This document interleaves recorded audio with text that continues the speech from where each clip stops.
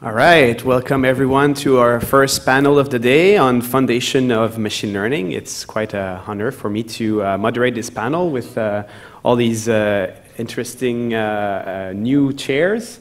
Um, so foundation in machine learning is, is a very interesting uh, time now to do this kind of research because we're kind of at a cusp between amazing empirical successes which uh, now we're trying to explain with theory. And so there's a lot of new theory which, uh, which is yet to be developed.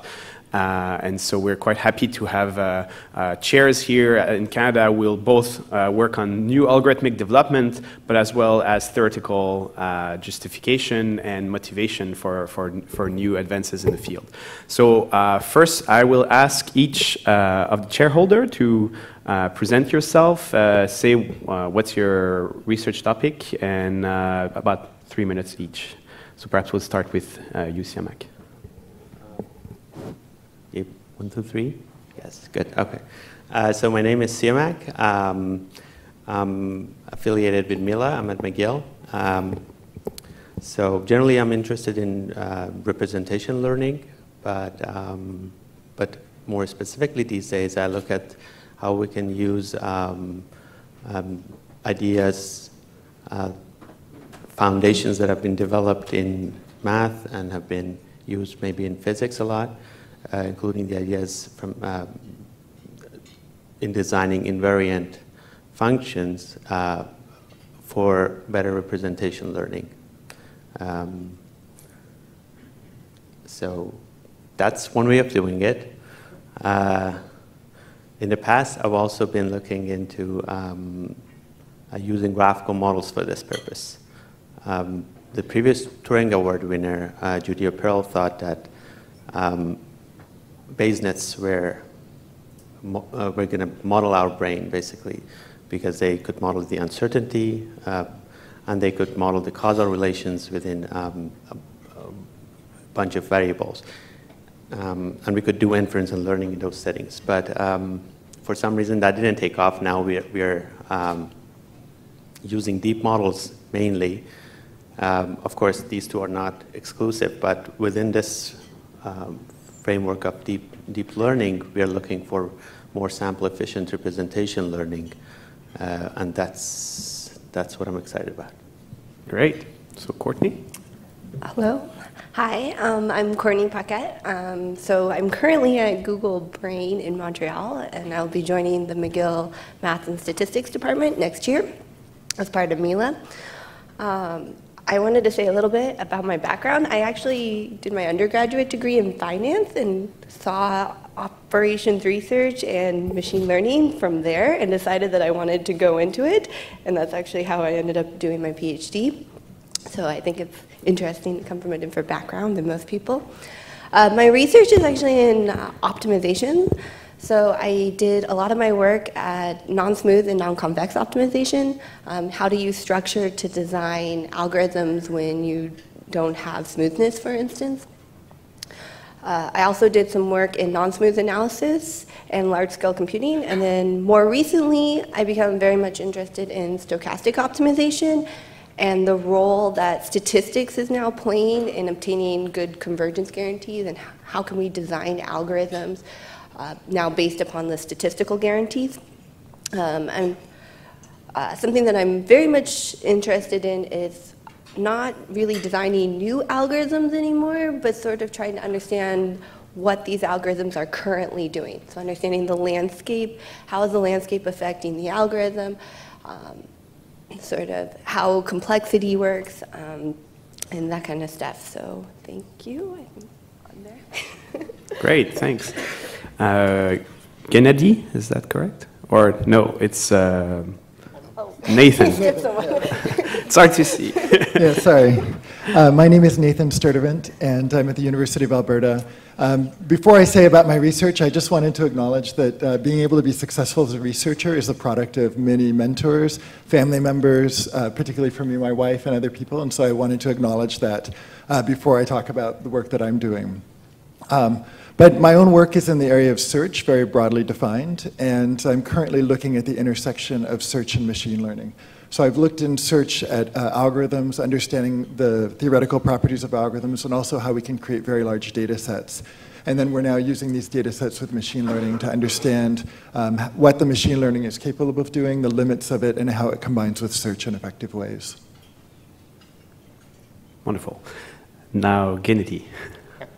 Uh, I'm Gennady Pekhimenko. I'm with University of Toronto and Vector Institute. Uh, my expertise is mostly in computer architecture and systems, and as you can probably guess, I'm applying that for machine learning, which requires a huge compute capabilities these days. Uh, the most interesting problems uh, are related to what are the hardware that is actually useful for machine learning, and beyond that, the, uh, one of the most critical problems right now how we can deliver all this performance seamlessly for ML people that not necessarily aware of all that fancy hardware that's beneath uh, the system that you're using. a lot of challenging tasks right now, mostly related to the fact that every major company is trying to build their own hardware. So uh, starting from Google, uh, Amazon, uh, Huawei, and other companies and hundreds of startups, they all want to jump on this market, and we all somehow need to satisfy, uh, you know, uh, the ability of other people to run on this hardware. Great. Chris? Uh, hi, I'm Chris Maddison. Uh, I'm currently a member at the Institute for Advanced Study, uh, but I'll be joining the University of Toronto and the Vector Institute next summer.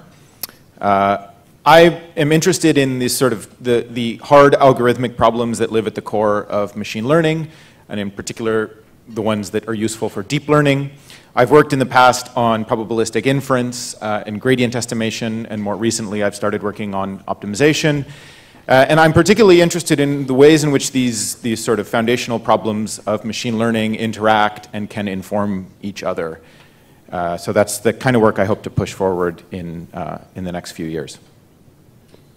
Great. Christian? So uh, I'm Christian Gagné. I'm affiliated with Mila. I am a professor at the Computer Engineering, Electrical Engineering Department from Université Laval in Quebec City. I'm part of the Computer Vision System Lab, Big Data Research Center, and so on. Um, um, my field is really about, I, I am feeling like, uh, I always say that I am an, an applied guy for theoretician and I'm a more conceptual theoretical guy for applied people. So I'm in between these two.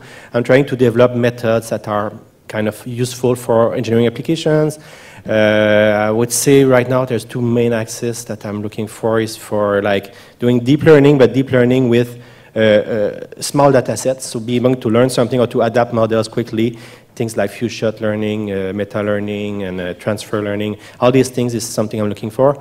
The other aspect is also to do uh, black box optimization, to do like uh, using methods that can optimize over functions that we don't have access to the analytical form. So uh, using probabilistic models on that, evolution strategies, and so on. Wonderful. And Pascal? Hello, my, sorry. my name is Pascal Germain. I'm a new professor, assistant professor at Université Laval. I came back for, from France uh, one month ago, so I spent the last four years in, uh, INRIA in France.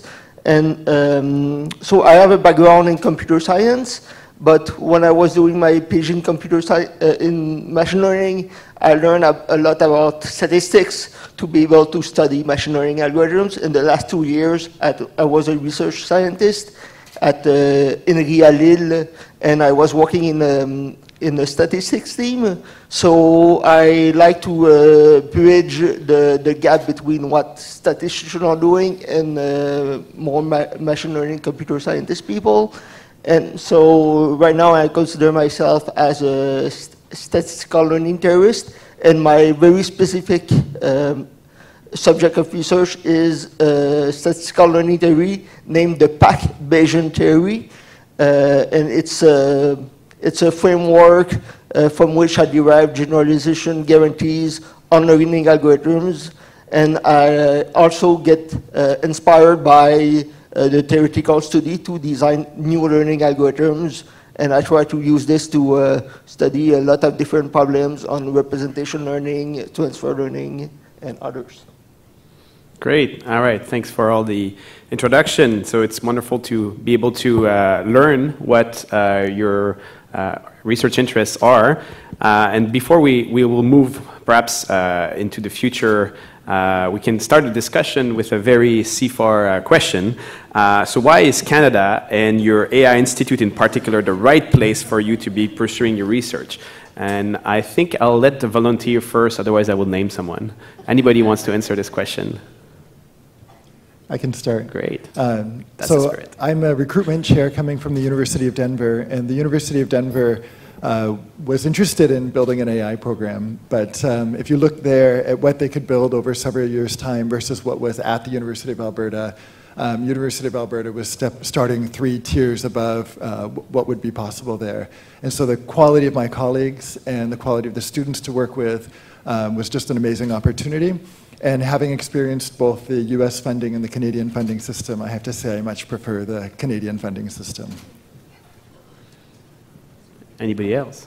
I'd like to sort of follow up on that. Um, this is related to the funding system, but also the culture of the Canadian research environment. I think it tends to support curiosity-driven research or high-risk, high-reward research. And I don't think it's any accident that, that two of the major subfields of artificial intelligence that are today generating so much buzz, deep learning and reinforcement learning, had two of their strongholds or three of their strongholds in Canada uh, and, and sort of sheltered those fields while maybe they were not the hot fields of, of machine learning. And I think that's happening today with work that's, that's going on today. And, and, and that sort of kindness and willing to take risks is something that Canada should be proud of. Anybody else? Hey, Christian? Uh, I would say I'm in, a different position because in Laval University we have now four staff chairs associated with Mila. So I think that the, the, the environment is interesting in the sense that we have access to this nice group in Montreal and we will develop collaboration. But at the same time in Laval we have, I would say, some kind of tradition of multidisciplinary collaboration. And so it's, I, I have the, I would say, the experience of having like interesting interactions with people from other fields, and we tend to have a nice dialogue. And it's, I think it's kind of really uh, enriching a lot the, the, the thinking, the, the, how the research is done, especially when you have some kind of, I would say, apply view without doing applications purely, but having something that like uh, feed uh, ideas. I think, I think this is really interesting, and for students, it's help them to get connection with many other domains, I think. Great. Anybody else wants to add something? So I think collaboration is, is also one of the, the key point, uh, especially that that's one of the uh, attractive point which attracted me to Mila was this, this, this uh, collaboration with multiple universities and also with like uh, startups and uh, the government and everything. So it's, it's a very stimulating environment. Um, so perhaps now let's talk about uh, interesting research. So um, anything in your field that you found particularly exciting in the last year or that you're, you're, you're perhaps which we will look, they will be talked about at NeurIPS that you would like to share about? Oh, you want to go in turns? I don't know. I go with volunteers because there's too many of you and I don't see you, but uh, I can go in turns if you want. Siamak. Um, so yeah, there is this um, this paper that I'm excited about um, from Max Welling's group on um, um, gauge equivariant neural networks. So uh, the idea was so far the models that we could build, the way we could generalize convolution to other domains uh, was that you needed to define sort of global symmetry on your domain. You, you could look, look at a sphere, look at a graph, look at a set, and you look at their symmetries. But now there is this new paper that says, well, you don't need this global symmetry. You can apply the same sort of ideas uh, on general manifolds and builds this theoretical foundation to do that. Symmetries. So I think there's a lot of use. I don't think I will go through all of them. I'll, I'll go for people who are excited about what they want to talk about.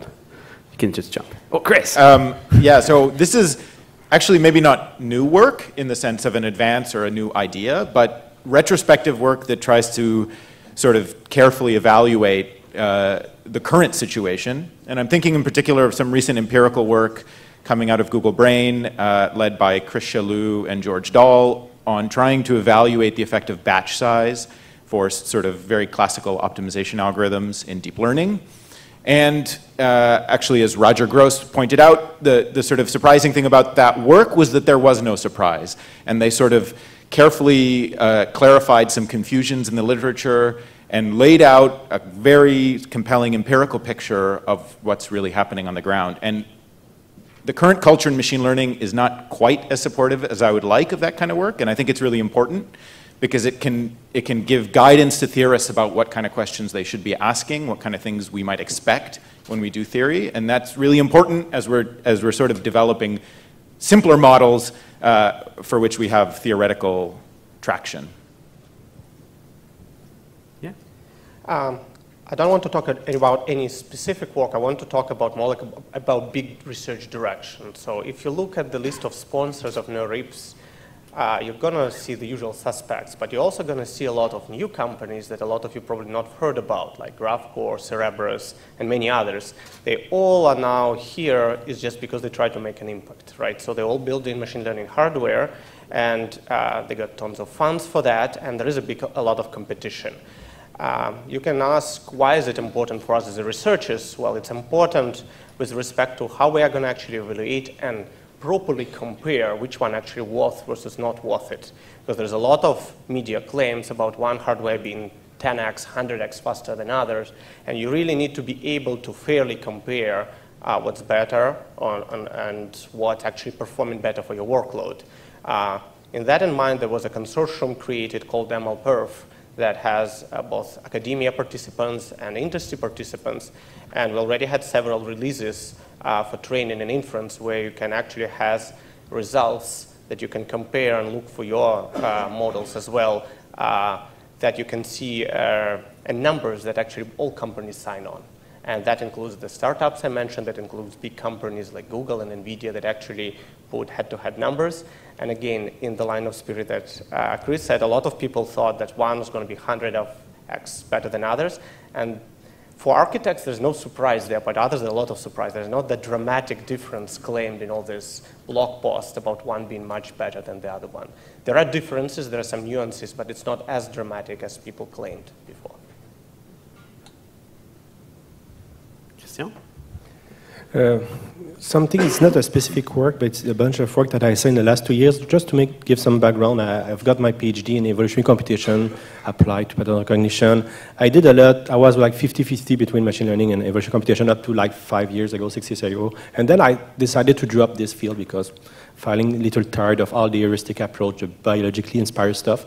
And then I saw like two years ago a, a regain in machine learning of evolution strategies and all these approaches, population-based training, all these things, like uh, optimizing deep networks for, inference for reinforcement learning with evolution strategies. So I was kind of skeptical at first because I was saying, well, I know these things and I'm not sure it will, it, will, it has a lot of things to do, but in fact, uh, I'm more and more convinced that it is really interesting. So I think that there is this kind of, of orientation that is uh, really exciting. So I'm, I think I will, I will look at it more closely because it kind of get me back to the roots where I was trained during my PhD.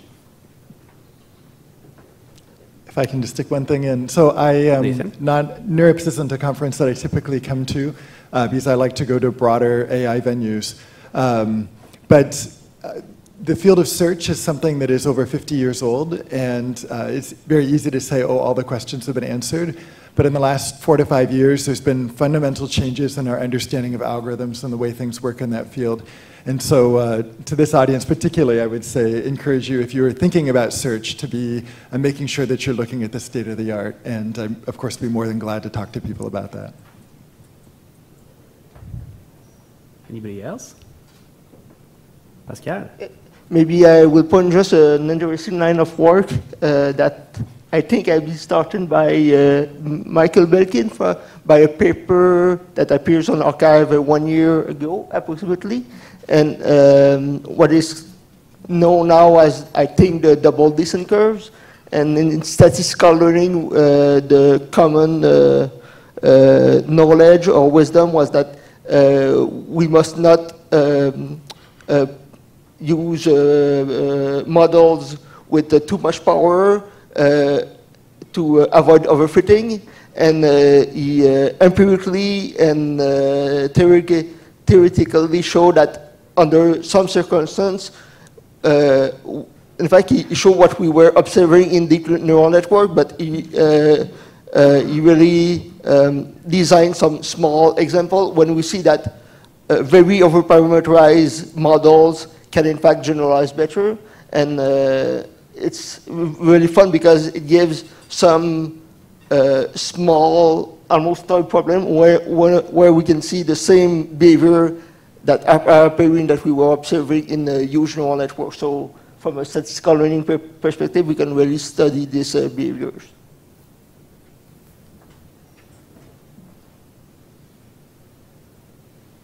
Courtney. sure.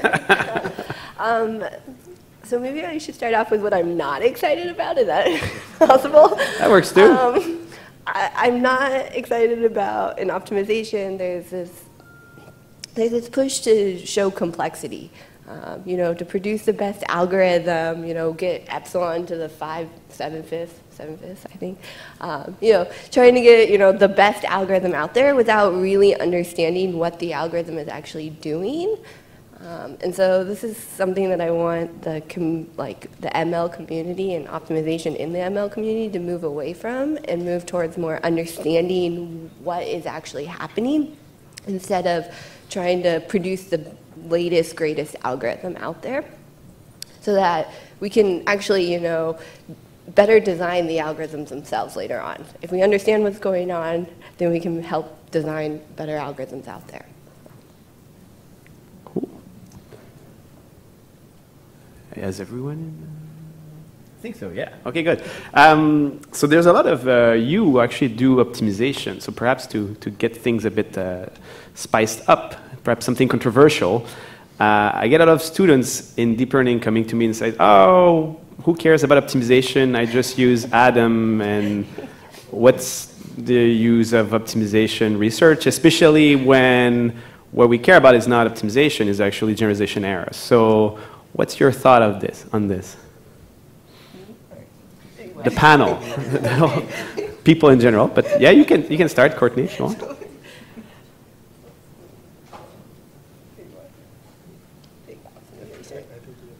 Who wants to, to, to motivate optimization in the modern era of machine learning?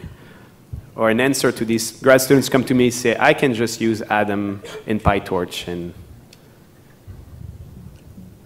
I guess I can answer this question. Um, or maybe I'm the most qualified, I don't know, um, since I said I do optimization. Um, yeah, I think it's interesting. Okay, so I, I, I, go to Mila sometimes and I hear this also, that students are just like, oh, I, why do I care? I just use Adam or Adagrad, um, or I guess they don't use Adagrad, they just use Adam. Um, and it, the thing which is interesting is they don't actually, again, this, this is this idea, they don't really understand, or we don't really understand why, they, why these algorithms are working. So they're working for a very specific reason. And in optimization, it's not just, again, about producing a complexity result or, um, say, a training error, but it's actually understanding why the algorithm is doing what it's doing, whether it's a curvature, whether it's noise, whether, um, you know, you're you're getting more second order information or something. There, there's usually something else involved. The landscape plays a role. Um, the objective function plays a role. Uh, we forget this, but you know, you can change your loss. It's totally fine to change your loss function to make it easier to optimize. That's a completely legitimate thing. Um, and uh, I think that there is a lot more to optimization and that the machine learning um, sometimes glosses over it, um, just because there's a lot of other things that we want students to know, and so we don't really have time to go into a theory side of optimization, which has been around for, I think, like, for quite a while now. Anybody else wants to chime in? Uh, I just want to add sort of a meta point on top of uh, Courtney, uh, uh Courtney's point, which is that uh, it's very hard to know ahead of time whether or not you can make progress. And that kind of goes both ways, right? You can, you can try to prejudge ideas and decide, well, uh, you know, I don't see how this is going to work. But of course, that was true before Adagrad and Adam were invented, and obviously they've had a huge impact on our field. So there's sort of significant uncertainty over the future, and in the face of that, what you should be doing is working on what you're interested in, not what you can tell today is going to work. I can say a few words in addition to that. So from the systems perspective, all these new algorithms, all the possibilities to change the objective function, hyperparameters is a nightmare. So whenever we need to make a comparison against competitors, say NVIDIA versus Google versus another company submitting their best results, and all these are moving targets, that becomes a nightmare. So we, uh, in MLPerf, we go back and forth around how to make things fair and at the same time not limit the innovation. And the best thing we came up so far was the ability to steal the hyperparameters from others. So essentially when the submission happens, uh, um, everyone submits their best results, but then it turns out if some company X just innovate not really like on the algorithm level, right? But it doesn't necessarily mean that, uh, you know, better hardware or better software stack, then the others can look and reuse it in their own submission so to make it more fair. So that's the best strategy we came up. But yeah, overall, uh, for us, it's the fewer the algorithm, the better. The, um, I'm not an expert on these algorithms, obviously, but I have heard recently a very nice talk by George Dahl from Google where he made uh, a nice comparisons between at least some order uh, on which algorithms are better than others if proper comparisons are made. Yeah, hyperparameter choice is, is very expensive. Uh, so at Mila, we also care a lot about uh, climate change in particular. And so the amount of, of GPU hours which have been spent uh, tuning hyperparameters, I think that's, that's one place also where uh, algorithmic advances will be uh, very useful. Uh, Christian, you wanted to say something? Maybe I would say to get back to the question about ADAM and the likes. I think it's, it's very relevant for supervised learning where your signal is kind of clear. But in some other cases, like in RLR, like when you want to do hyperparameters optimization, you want you need to optimize over the optimization, optimize over the model. So I think in such case, it's different kind of optimization. So there is there's room to, to explore these things, and I, I don't think yeah, agree that for like some kind of differential models that you can use directly, some kind of backprop, it makes sense, but there are other cases I think that we need to, to look at.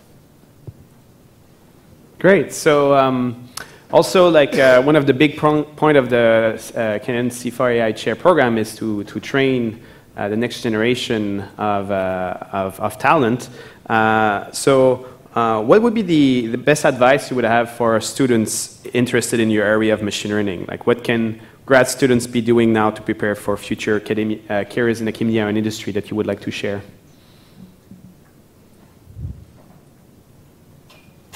Okay, I have a thought. Oh, sorry.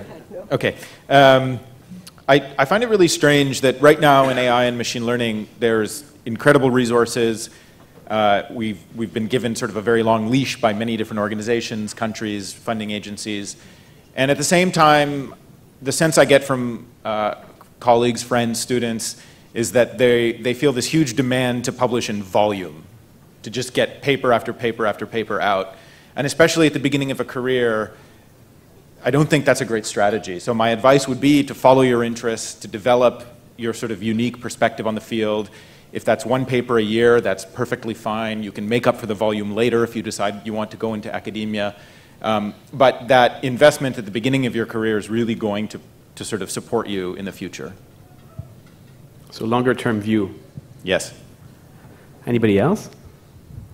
Um, I can add a little bit to Chris's point. So I think we're in academia to take risks, right? So uh, what I encourage my student is not afraid to take on the aggressive uh, uh, directions in research. Like, for example, one student that started with me about a year ago came to me and said, okay, I think backpropagation is just the wrong strategy to do, uh, you know, uh, optimization. It's fundamentally bad. We're trying to optimize it after that on the software level, but there is a fundamental sequential dependencies there, and there's nothing that we can do about it. So we just need to break that dependency.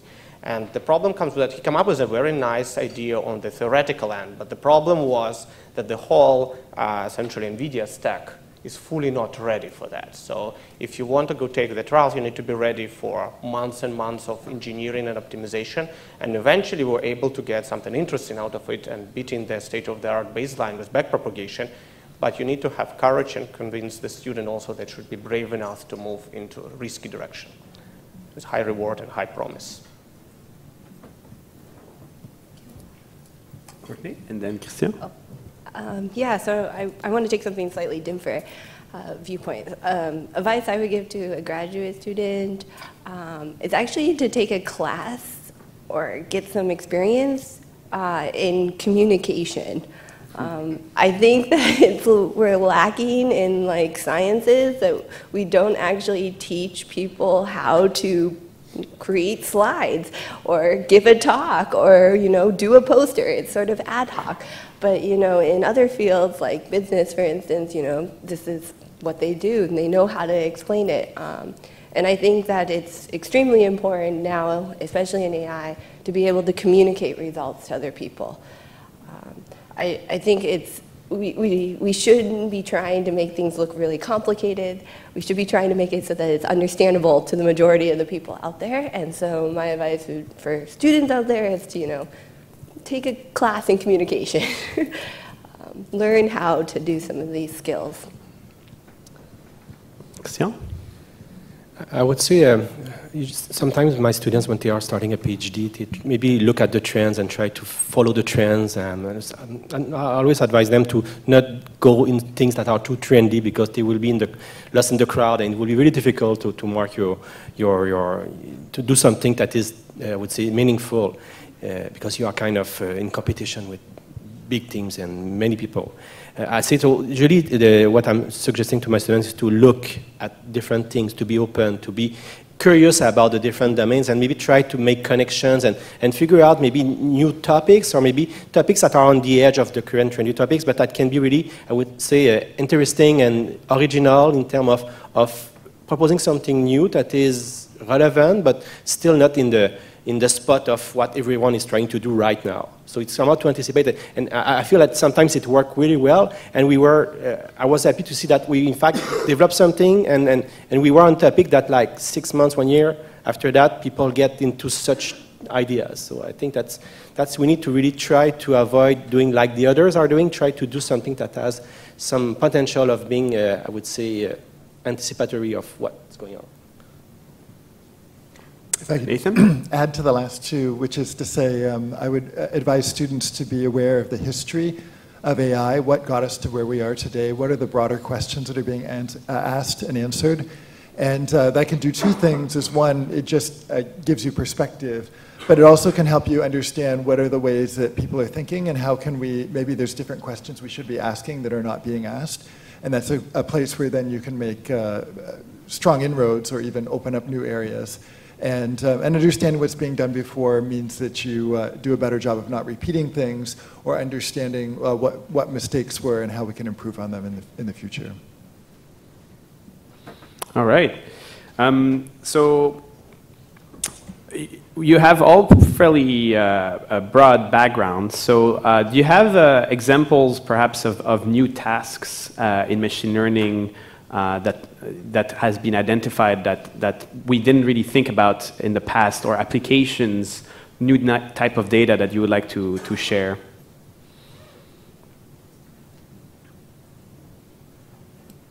How far in the past? Oh, 10 years ago was not there. Five years ago.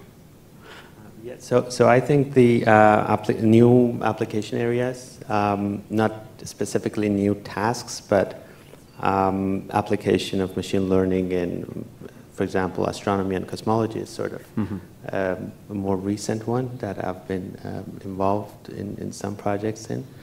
Um, but it, it comes with its own challenges. For example, you get huge data sets.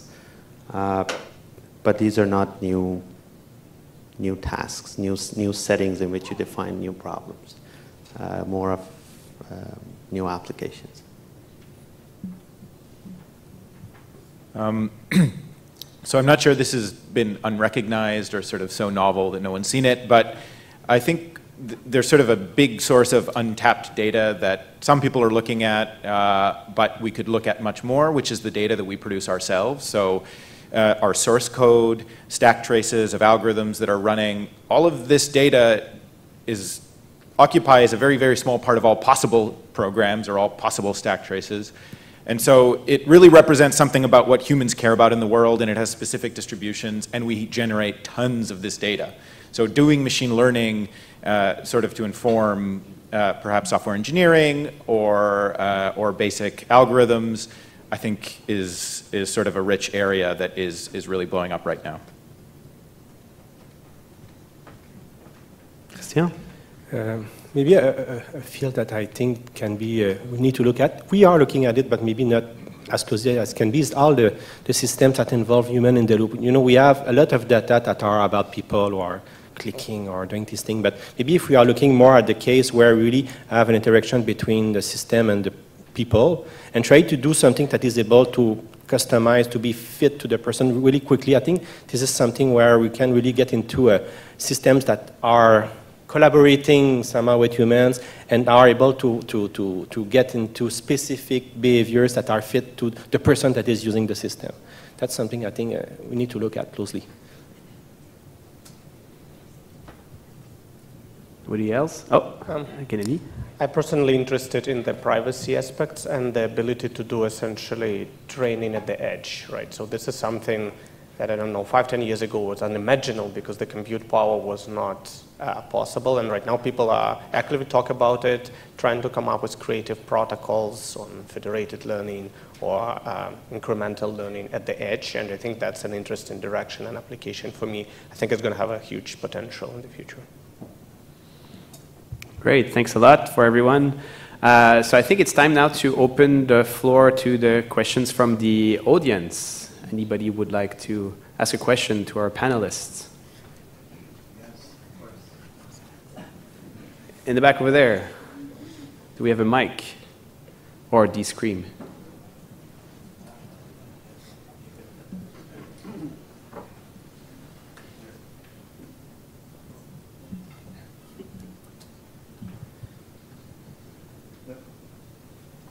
Activated microphones.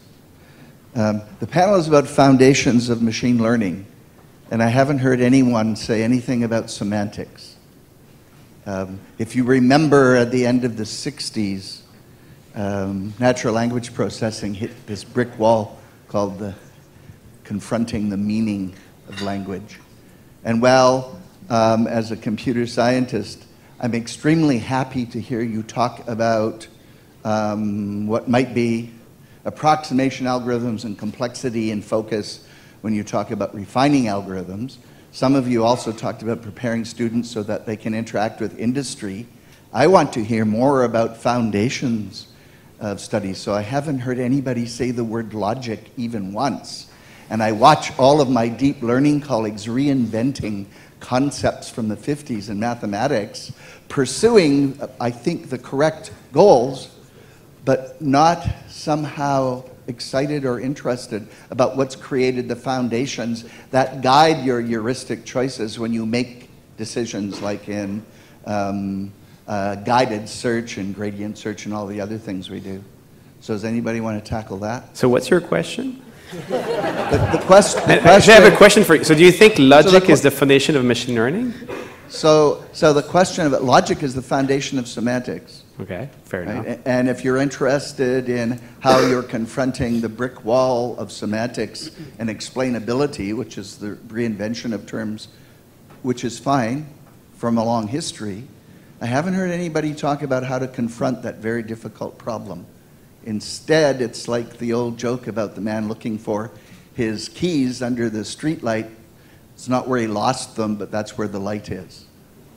So I think that this is something that's serious that I encourage all my new graduate students to do, to read a book, any book, about logic and semantics, to be able to guide their work in building models automatically, semi-automatically, labeled or unlabeled, data supervised or unsupervised, to be able to make sense of a next generation of machine learning.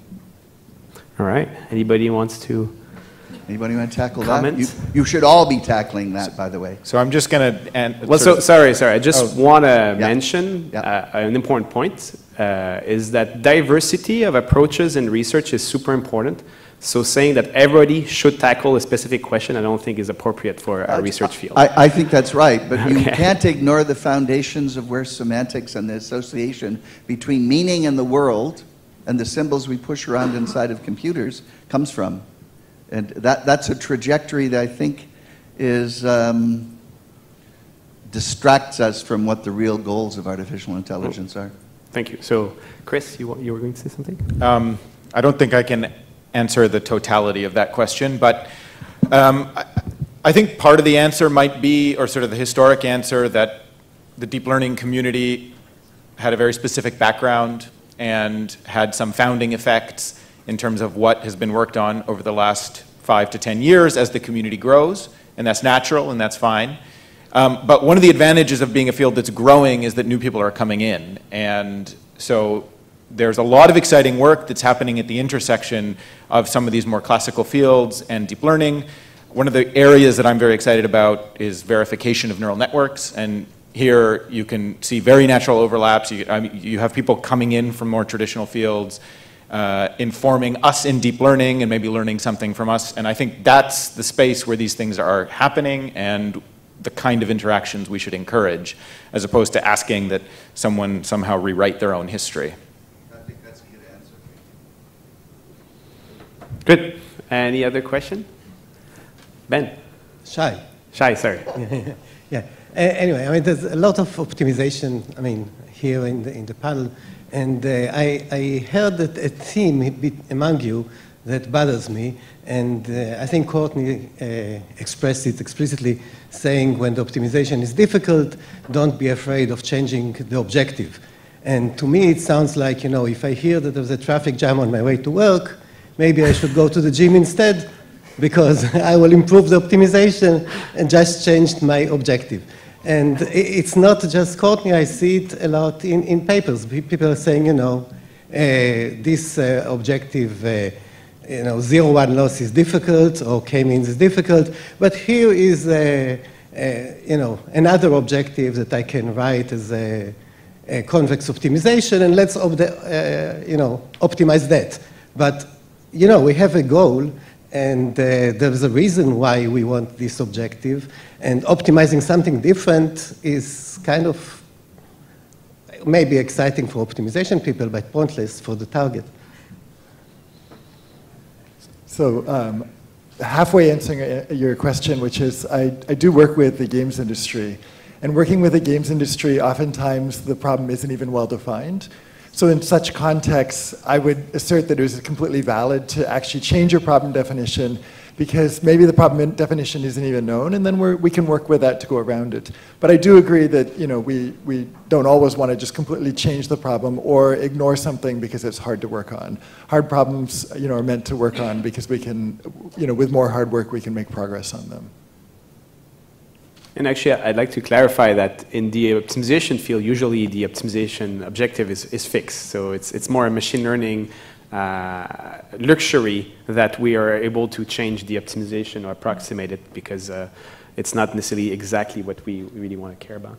Do you want to say something more, Courtney? Oh, sorry. I actually want to say kind of um, that the optimization community has actually moved kind of more in your direction also. For instance, um, I do work in non-smooth and non-convex, and for a long time people were like, I will never touch a convex problem, or never touch a non-convex problem. Let's always convexify it, right? Um, but because now there's been research, basically in, in machine learning, pushing towards the um, non-convexity, people are going back and looking at these objective functions.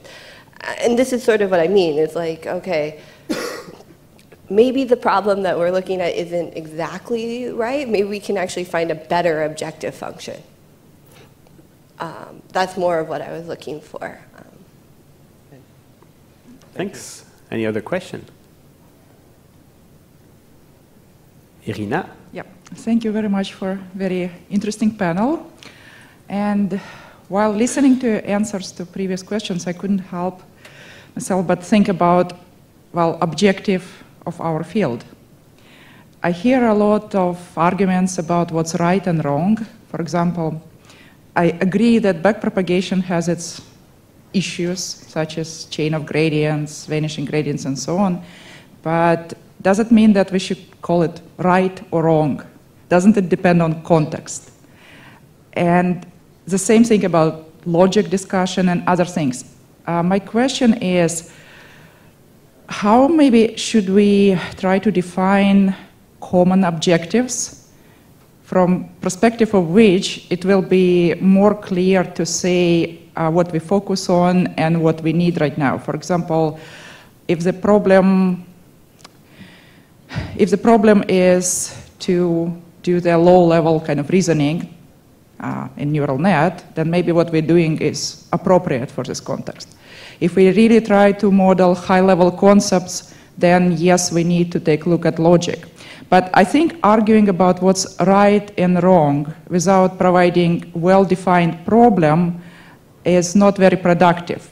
So here is my question, like, do you think we could have defined like Hilbert's top 10 problems of AI for ourselves so we would be a bit more focused and say for this problem that would be the right approach and that approach would be wrong but not in general, because without context, it's very hard to kind of compare things. Do you think it would be a bit more productive approach to the kind of moving the field forward? All right, so the CIFAR top 10 problems of AI. Anybody wants to uh, have a shot at this? I can just uh, give a short answer. Um, well, for myself, I do have these open problems that I think a few people that work closely on, on similar areas care about, but I don't think uh, these are just a stepping stone, and it may not be, they may not be of interest to the broader community at this point. Maybe if we make more progress, then then it becomes more important to the to the general AI audience. I think that, that might be true for, for many other people. You're, you're focused on one specific area and you have this, this particular problem that you want to solve. Um, but if you're just talking to someone else, it may not seem very um, high impact or very broad enough, uh, that particular open problem. Um, so I don't know how easy it would be to define uh, a list of 20 open problems for everybody. One interesting thing is I'm not familiar with other fields than the Hilbert's problems. I'm not sure. Perhaps there's learning theory where they also list open problems, but I, uh, in uh, less theoretical fields, I think it's pretty hard to identify these uh, clear, well-defined, open questions. Sure if anybody else has something to say about this. Chris? Uh, yeah, I actually think, well, I think it's a bit of a feature and not a bug of artificial intelligence. Well, yeah. What I love about it is that I don't think the paradigm has fully settled. And the field is going to naturally resist any attempt to do that. We could sit and try to do that today, and we might come up with a bunch of problems about neural networks. If we had done that 50 years ago, we might have come up with a bunch of problems about logic. And, uh, and then the next Geoff Hinton's going to come along and ignore those 10 problems and possibly rev revolutionize the world. And I think we're not yet at a point where these can be well defined in a way that we can guarantee progress towards an objective we can defend if they were solved. Yeah, and I think one of the, um, the uh, characteristics of the field is being so multidisciplinary. People are coming from very different perspectives and also with very different objectives. Uh, and so um, I'm not sure we really need to make all them focus on, on specific questions. Well, thank you for your answers. I agree with part of them, but not all of them, and I guess we'll agree to disagree. I think that it is possible to define certain common directions, and it might be a bit more productive. And I also don't think you need to wait for the next Geoff Hinton. Why won't you be one? Just think about it. All anyway, right. I, will let the Thanks, uh, other person to ask the question. Thank you. Who's the next one? I'm just going to follow up on that comment and say that think of it not so much as constraining your choices, but inc increasing your resources. So the typical way that grand challenge uh, lists are created is in a blue ribbon panel of leaders like yourself that then give reasons for funding agencies to put resources behind those tasks to increase the total amount of resources and the focus on a problem and the benchmarks around them. So it's actually a pretty good exercise to do, and it's worth investing time in. Great, thanks. So is there any final questions?